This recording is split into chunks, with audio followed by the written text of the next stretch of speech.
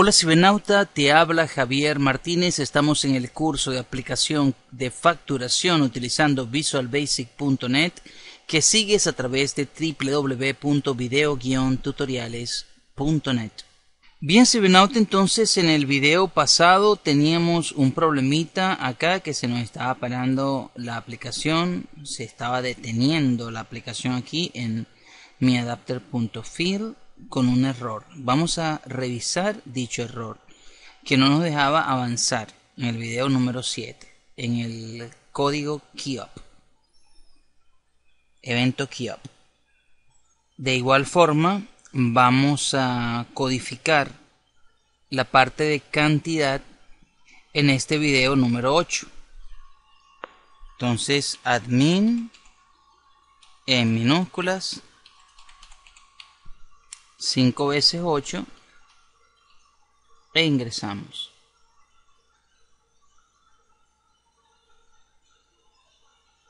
Aquí tenemos facturación. Vamos a ver cuál es el error. Javier.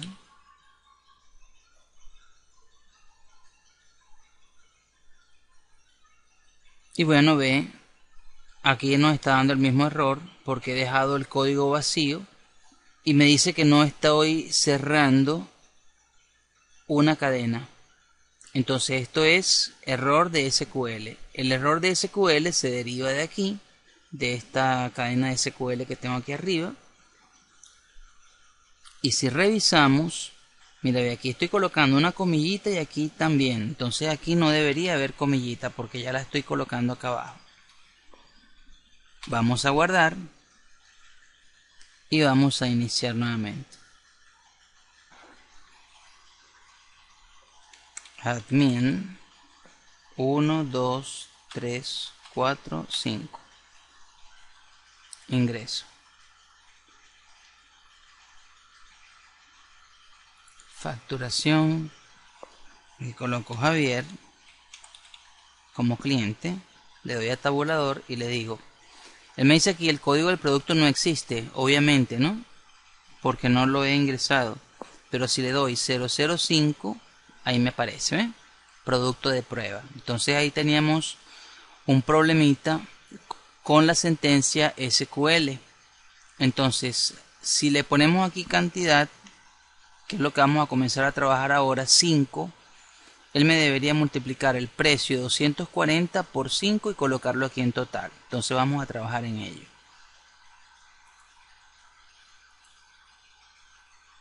Y debería borrarme ese mensaje cuando encuentre el producto. Debería borrarme el mensaje de el código del producto no existe. Tendría que colocarle aquí cuando encontró el producto en alguna parte lbl mensaje punto text vacío para que borre este mensaje que ves aquí. Entonces vamos a ver qué nos falta aquí. Aquí voy a necesitar algo si ven auto ve. Colocar en la variable que tengo aquí en var exist. Ve aprovechando que estamos aquí voy a utilizar a var exist y voy a um, utilizarme esta misma estructura pero para traerme la existencia actual ¿sí? existencia este es el campo en la base de datos ¿sí? perfecto también cuando él encuentre acá él debería irse hacia cantidad, porque recuérdate que lo hice con un tabulador y cuando él encuentre debería mover el foco hacia cantidad. Con esto entonces ya tenemos el código de acá finalizado. Aquí deberíamos colocar, si un auto ve este mensaje, el código no puede estar vacío, no puede ir aquí en resultado mayor a cero. Debería ir por lógica acá abajo en resultado igual a cero si está vacío ok ahora sí vamos a ver si nos pasa bueno, es que tenemos que programar la parte de la existencia de la cantidad y eso es lo que vamos a realizar también en este video. Vámonos acá a cantidad y vamos también a programarle su evento keyup de cantidad. Aquí voy a colocar ve, if cantidad o txt cantidad, quise decir, punto text es igual a vacío, entonces txt cantidad punto text va a ser igual a cero. Y dejo el foco allí.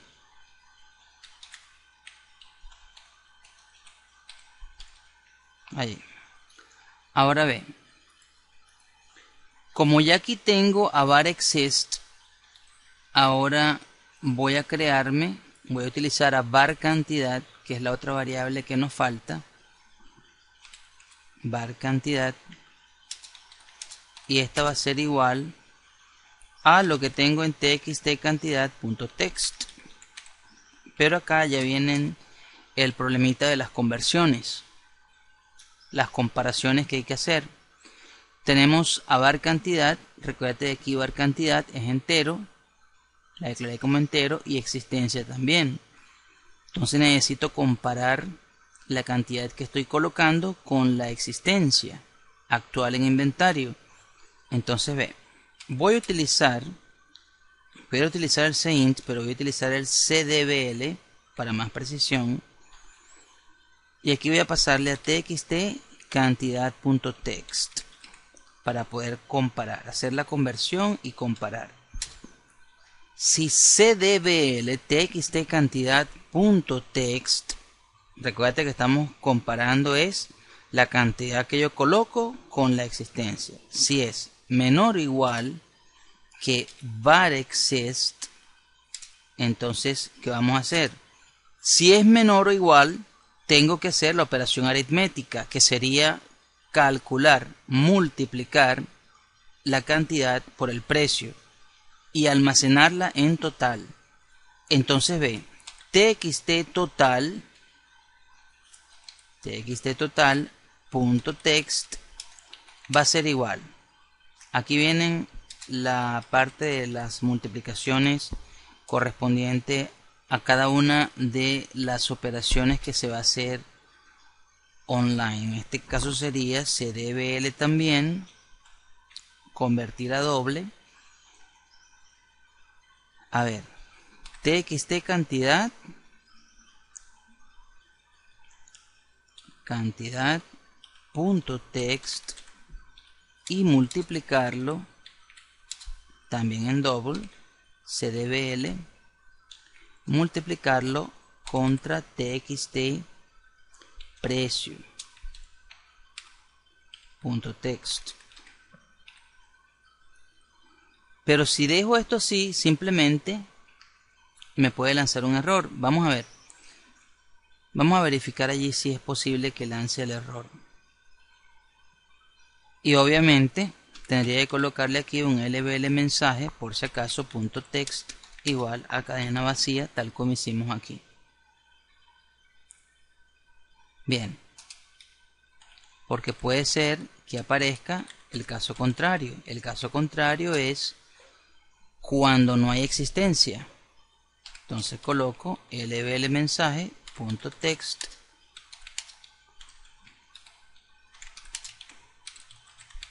no hay suficiente existencia en inventario.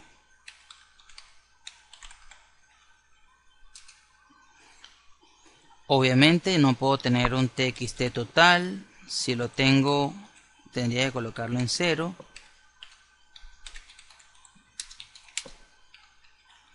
Y tendría que dejar el foco aquí mismo en cantidad txt cantidad.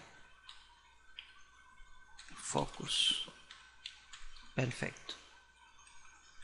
Vamos a ver aquí entonces esto que tengo mis dudas. Esta partecita de aquí. A ver si nos está multiplicando bien. Si no le pasamos un val a todo el paréntesis. En caso de que no multiplique ok vamos a revisar aquí si nos está funcionando el var exist. Si nos está funcionando la parte acá del código no puede estar vacío el movimiento que hicimos. Vamos a verificar varias cositas en esta ejecución ¿sí? del producto admin. Y la clave me voy aquí coloco Javier. Aquí me está mostrando todavía el código del producto no existe pero si lo coloco me lo borra correcto. Y si le coloco aquí 5 me dice 1200 perfecto. El problema es saber cuánto tengo en inventario para ver si esta validación está correcta. Aquí. Entonces vamos a SQL Server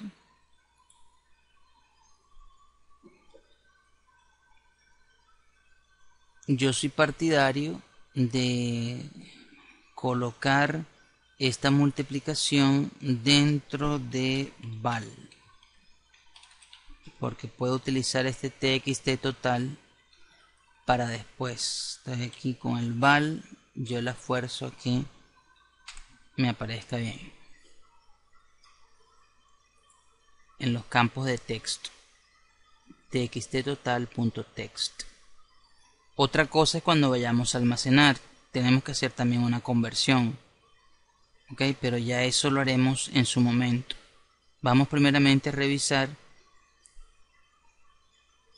cuál es la existencia aquí en SQL Server y luego continuaríamos en el video número 9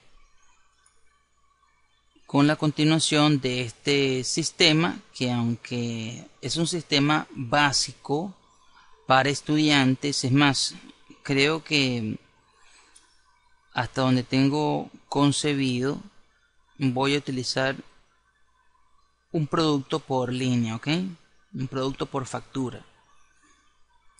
Ya luego en otros cursos vamos a ver tópicos más avanzados cómo utilizar el eh, procedimiento almacenado, los procedimientos almacenados, porque este curso, el alcance de este curso es enteramente didáctico para colegas que están haciendo proyectos, como me lo sugirieron, proyectos estudiantiles. Aquí tengo en existencia 20, 20 en existencia. Quiere decir que todavía no he probado la validación aquí. Está pasando bien acá, pero no he probado el caso contrario. Entonces vamos a hacerlo. Como te dije, este curso, el alcance de este curso es tratar de finalizar la parte de facturación, emitir una nota fiscal, que sería la impresión de la factura, y realizar la instalación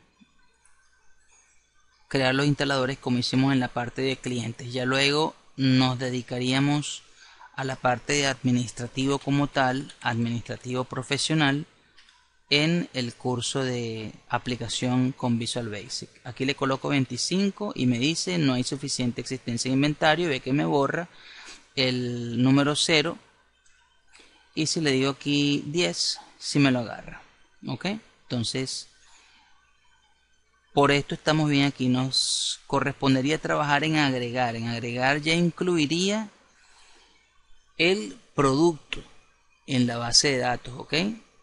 Entonces, debería también refrescarlo aquí en el grid. Entonces vamos a comenzar a ver esto a partir del video número 9 de esta serie. Un abrazo y hasta entonces.